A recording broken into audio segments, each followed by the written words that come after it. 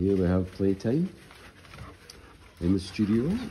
the big sponge is here with the girls, with Noah and Benia. Hey, oh boy. Hey, big spongy.